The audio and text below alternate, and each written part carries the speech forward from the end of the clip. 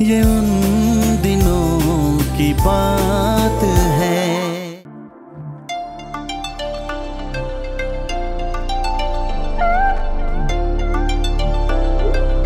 सुन कविता को बोल अपनी साइकिल पंचर कर दे और फिर उसी लड़के से जाके हेल्प मांगे। देखते हैं ना कि वो लड़का उसकी हेल्प करता भी है या नहीं। सोच के रही है नैना? आज तुझे अपने प्यार के खातिर ट्यूब की कुर्बानी देनी ही पड़ेगी।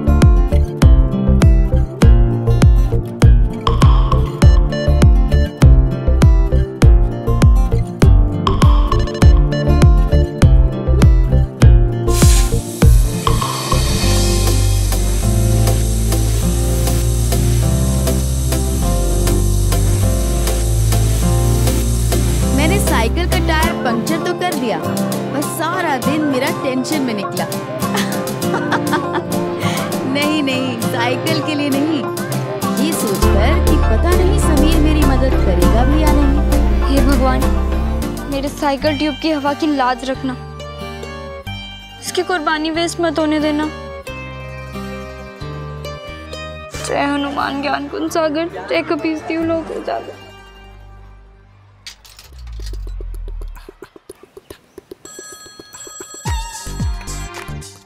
हेलो। हेलो। नानू मम्मी से बात कर रही हैं। सब ठीक है ना? कुछ भी ठीक नहीं है। क्यों क्या हुआ? नानू आप मम्मी से बात कर रही हैं ना प्लीज़ रुको एक मिनट। विशाखा? समीर का फ़ोन है तुम्हारे। समीर का? हाँ समीर का। इस वक्त मेरे लिए? कहाँ से बोल रहा है वो? पता नहीं बात करो। क्या हुआ? देखो। हेलो? मुझे नहीं पता था कि आजकल माँ बाप भी रिश्वत देते अपने बच्चों को। जैसे आपने दी अपने लाडले बेटे रोहन को अ ब्रांड न्यू बाइक खैर मैं ब्लेम नहीं कर रहा हूँ। You were right mom I haven't earn it but now I will earn what nonsense ये क्या बक रहे हो तुम? बक नहीं रहा हूँ मैं। मैं सिर्फ़ अपना हक मांगने के काबिल बन रहा हूँ। अब सुनो मिसेस विशाखा सोमानी मैंने डिसाइड किया है। इस बार स्कूल का हेड बॉय सिर्फ़ और सिर्फ़ मैं बनूँगा। हेड बॉय और तुम?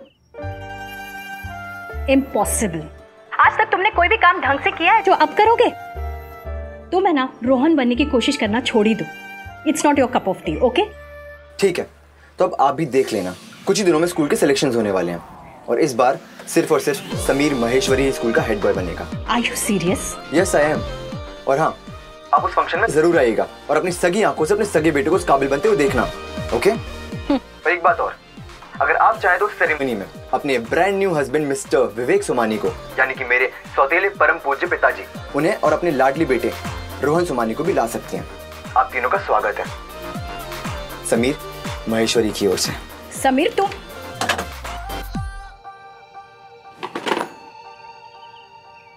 मंजिल उन्हीं को मिलती है, जिनके सपनों में जान होती है। पंख से कुछ नहीं होता, हौसलों से उड़ान होती है। प्रगति विद्या के मंदिर के होनहार छात्रों, जैसा कि आप सब जानते हैं, हर साल की तरह इस साल भी हेड बॉय का चयन होना है। वो भी अगले महीने की 10 तारीख को। आप सबको मेरी तरफ़ से ऑल द बेस्ट इस बार भी कक्षा बारहवीं के छात्र अर्जुन अग्रवाल एक उम्मीदवार है। याद रखो बेटा तुम्हारा नाम अर्जुन है। अर्जुन यानी कि विजेता। मेरा सर तुम ही से ऊँचा है। जी पापा। अगर आप सब में से अर्जुन के सामने कोई प्रतिस्पर्धी हो तो हाथ ऊपर कर सकता है।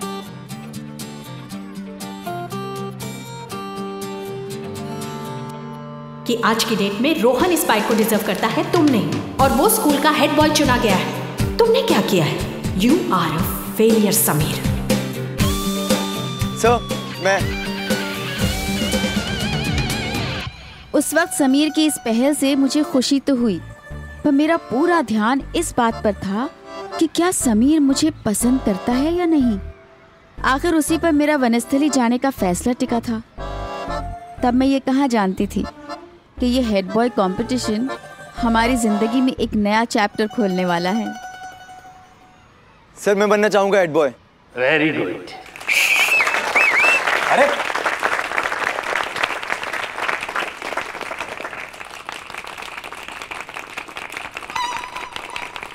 डरना मत अर्जुन। डट के सामना करना इस नए लड़के का। जी पापा। समीर माहेश्वरी का भी नाम लिख लिया जाए। जीवन में जब कभी मुकाबला हो तभी तो जीत का मज़ा आता है। ऑल द बेस्ट मेरे नौजवानों।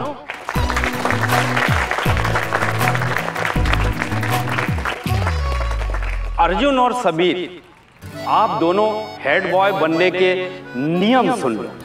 अगले महीने एक क्रिकेट मैच होगा और उसका जो विजेता होगा, उसके अंक। और अगले एग्ज़ाम में गणित और विज्ञान के अंक मिलाकर जिसके सबसे ज़्यादा अंक होंगे, वही बनेगा हेड बॉय इसका मतलब आप जानते हो, खेलकूद और पढ़ाई दोनों में जो आगे होगा, वो बनेगा हेड बॉय यार क्रिकेट तो ठीक है पर ये विज्ञान और गणित का कुछ करना पड़ेगा। पता नहीं यार। चलती हूँ पापा। हाँ बेटा। प्लीज़ टेक केयर हाँ। तुम भी अपना ख्याल रखना है? और वो अ, ये ले। खुश रह। अ, क्या हुआ पापा? नहीं, नहीं, परेशान लग रहे हैं? कुछ नहीं। पापा बताइए ना बात क्या है? विशाखा, तुमने कल समीर को हेड बॉय बनने के बारे में इतना कुछ सुनाया, मुझे अच्छा नहीं लगा। नहीं, पापा, आप समझे नहीं। मैंने जो कुछ भी किया ना जानबूझ कर किया। उसे कड़वी बातें सुनाना, उसे सख्ती से पेश आना। क्योंकि मैं उसके जमीर को जगाना चाहती थी, उसे उत्साहित करना चाहती थी। आप तो जानते हैं, बच्चों को जब तक चैलेंज ना करो, वो कुछ नहीं कर पाते हैं। मुझे पता था। जब मैं उसे रोहन से कंपेयर करूँगी ना तो ये बात उसे चुभेगी। और फिर वो इसे चुनौती समझकर रोहन के सामने अपने आप को प्रूव करने की कोशिश करेगा। तुम्हें क्या लगता है? कि तुम्हारे इस चैलेंज से समीर हेड बॉय बन जाएगा? हेड बॉय बनेगा या नहीं ये तो पता नहीं। लेकिन कोशिश तो करेगा। बल्कि अपने आप को तलाशने की राह में उसने अपना पहला कदम रखना शुरू भी कर दिया है। आप देख सकते हैं। चलो let's hope for the best okay आओ यू टेक केयर और अपनी दवाई टाइम पे लेना हाँ? आई विल बैठो अरे चिंता मत कर समीर। इस बार अर्जुन को हराना ही है। अर्जुन की टीम में वो दम का यार कि वो हमारी टीम को हरा सके। हो। ही नहीं सकता। है कि नहीं समीर? हम्म सही कहा। और वैसे भी मेरे लिए तो एक पर्सनल चैलेंज है। बस टेंशन मुझे मैथ्स और साइंस की है यार। यार तो formula 21 what's that 21 guide readymade 21 सवाल के जवाब हर सब्जेक्ट के लिए। वो पढ़ लेना। वाओ नाइस आइडिया सही है।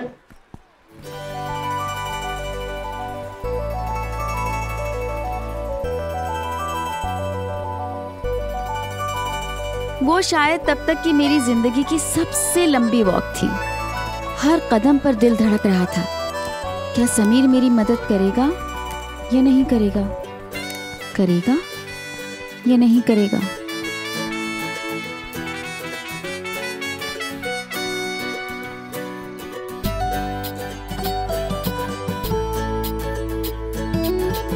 जल्दी आओ समीर। मेरी मदद करो।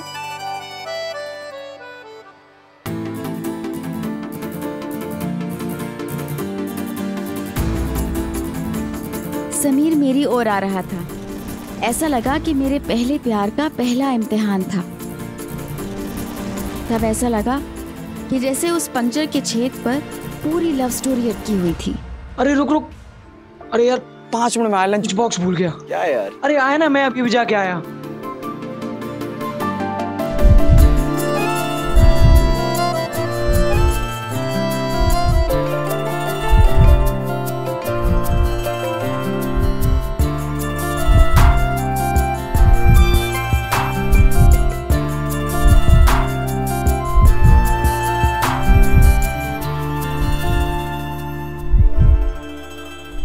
मैंने कहा था ना, अगर राइटर नहीं बनती तो एक्टिंग तो मैंने ज़बरदस्त कर ही ली थी।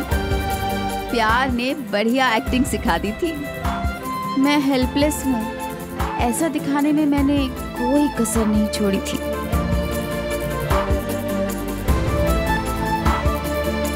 हे भगवान, पंचर! अब क्या करूँगी मैं?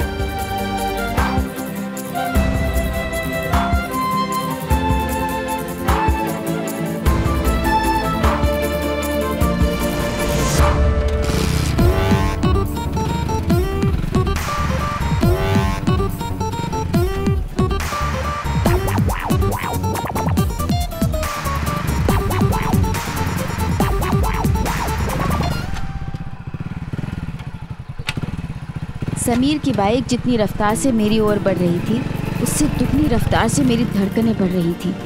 शायद वो मेरे ही पास आ रहा था मेरी मदद करने। सब कुछ वैसे ही हो रहा था जैसा मैं चाहती थी। मैं सांस तक लेना भूल गई थी। अरे समीर अरे समीर संभाल के बाइक की ब्रेक खराब है अरे संभाल के!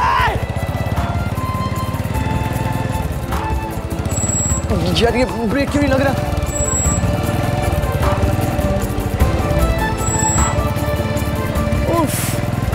लेकिन किस्मत कुछ और ही कहानी लिखना चाहती थी। मेरी खुशी सिर्फ़ दो पल की थी।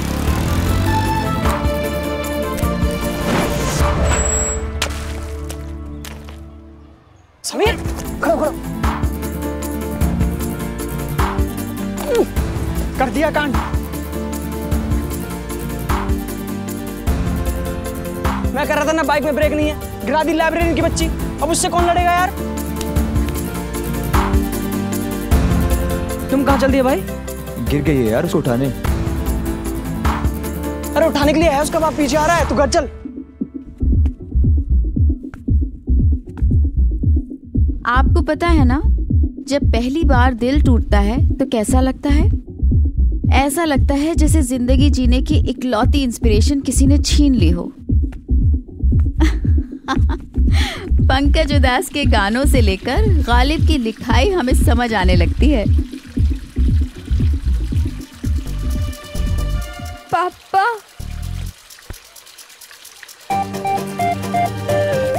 कौन? नैना? तू यहाँ क्या कर रही है? पापा वो साइकिल से अरे इतना बड़ा मैदान छोड़ के तुझे गिरने के लिए यही जगह मिली है।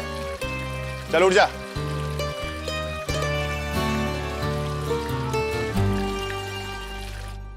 अरे क्या कर रही है? बेला? छींटे आएगी तो डाकों से भी बदतर है। पानी डालो ठीक से। अरे ये काम ढंग से नहीं कर सकती है।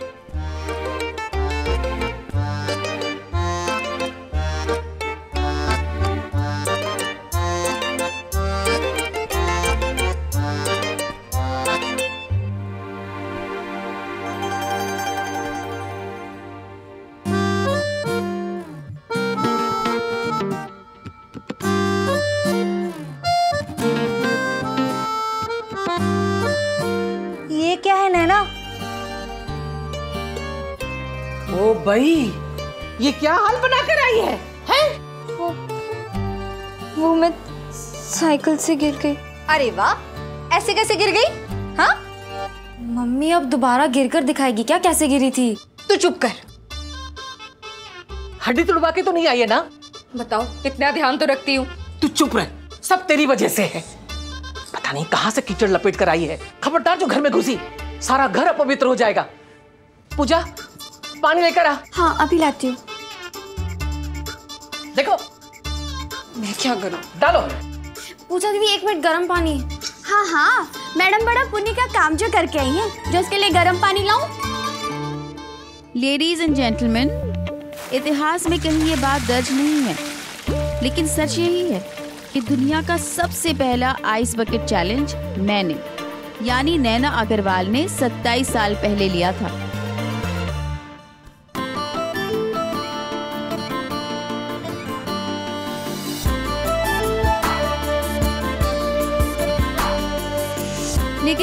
पानी से ज़्यादा दर्द भरा था समीर का ठंडा बिहेवियर मदद करना तो दूर वो मुझे कीचड़ में ही छोड़कर चला गया।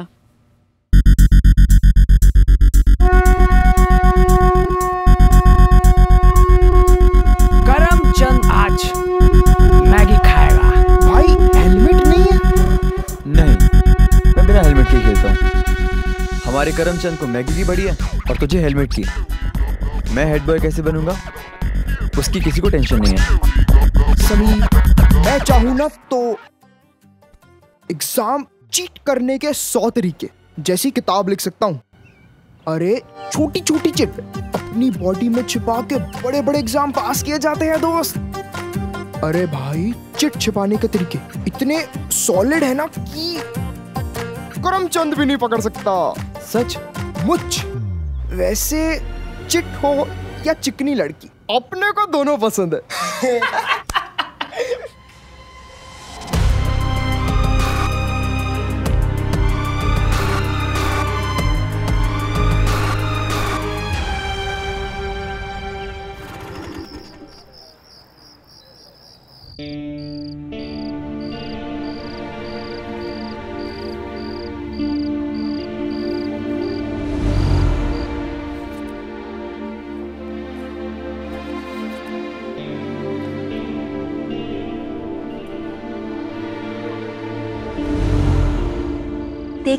कि वो लड़का उसकी हेल्प करता भी है या नहीं? अगर उस लड़के ने मदद नहीं की तो? तो कविता को समझा दे कि उसकी लव लाइफ में पंचर है। खुद को ये समझाना बहुत मुश्किल तो था कि समीर मुझे पसंद नहीं करता। पर रोज समीर को अपने सामने देखने का दर्द भी नहीं सह सकती थी।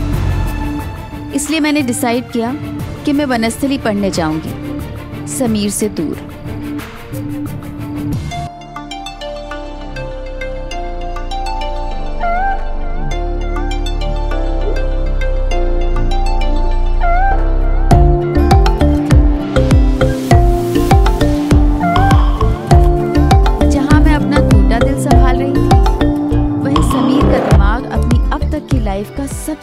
बड़ा चैलेंज फेस कर रहा था।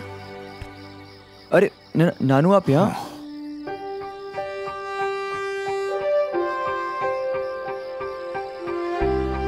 समीर जब मैंने नया नया बिज़नेस शुरू किया था ना तो बहुत बड़ा नुकसान हो रहा था। कर्ज की कागार पे आ गया था मैं।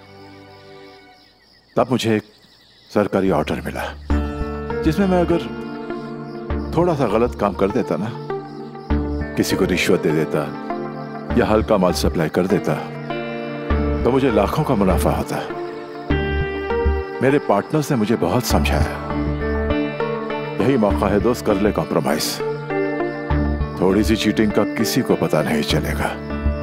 कब पता है, मैंने उनसे क्या कहा? मैंने उनसे कहा था कि किसी को पता चले या ना चले, मुझे तो पता चलेगा ना। मर्द हूँ। सुबह जब शेव करने के लिए आईने में अपना चेहरा देखूँगा तो खुद से आँख नहीं मिला पाऊँगा।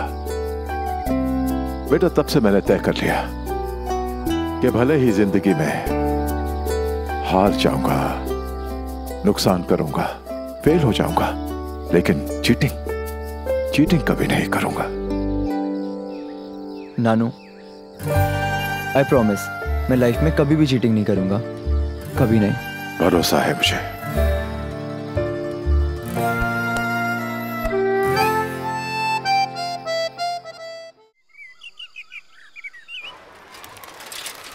चीटिंग करके पास होने के सौ तरीके हैं पर खुद के दम पे पास होने का ना सिर्फ़ एक ही तरीका है। मेहनत जीत और मेहनत दिमाग दौड़ मेहनत। फिर तो समीर को जो रातों रात ढंग से पढ़ा सके वैसा कोई धांसू टीचर ढूंढना पड़ेगा। धांसू टीचर तो ढूंढो कोई। नैना तूने कुछ खाया नहीं? क्या हुआ? नहीं मुझे भूख नहीं लगी। अरे? अरे नैना इतना टेंशन मत ले पढ़ाई का। यार ये अंग्रेज़ी बनाया किसने? वैसे भी ना मुझे ग्रामर बिल्कुल नहीं पसंद है और मुझे समझ में भी नहीं आता है। हम लोग हिंदुस्तानी होके अंग्रेज़ी क्यों पढ़े? और मुझे गणित समझ में नहीं आता। ये विषय किसने बनाया? ये ज़ीरो इधर से उधर होता है और हमें ज़ीरो बना देता है।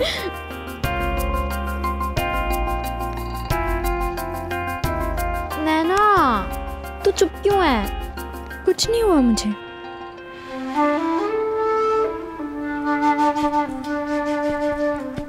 दिल, पागल, बुद्धू सब है।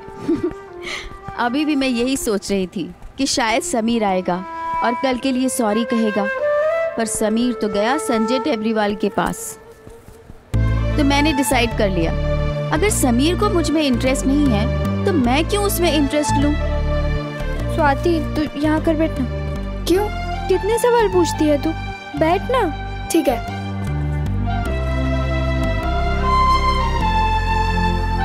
ए टेबरीवाल आज के बाद तू समीर को पढ़ाएगा। और सुन पढ़ाई में कोई कमी नहीं होनी चाहिए। और ये रही उसकी कीमत। समंता फोक्स का पोस्टर। और ये रही उसके गानों की कैसेट। ये उन दिनों की बात है, जब म्यूज़िक और मूवीज़ फ्री में डाउनलोड नहीं होते थे। उस वक्त अपने कैसेट कलेक्शन पे लोग इतना प्राउड फील करते थे, जितना आज अपनी जैगवायर या मर्सिडीज के लेटेस्ट मॉडल्स पे भी नहीं करते। समंता फॉक्स के मिलने के बाद संजय का बस चलता तो अपने सारे मार्क्स समीर के नाम कर देता। आप लोगों को तो पता होगा कि कभी कभी प्यार के रास्ते किताबों से होकर भी जाते हैं। पर अब हीरो हीरोइन तो अलग हो रहे हैं। फिर कैसे? दिनों की बात है। ये उन दिनों की बात है।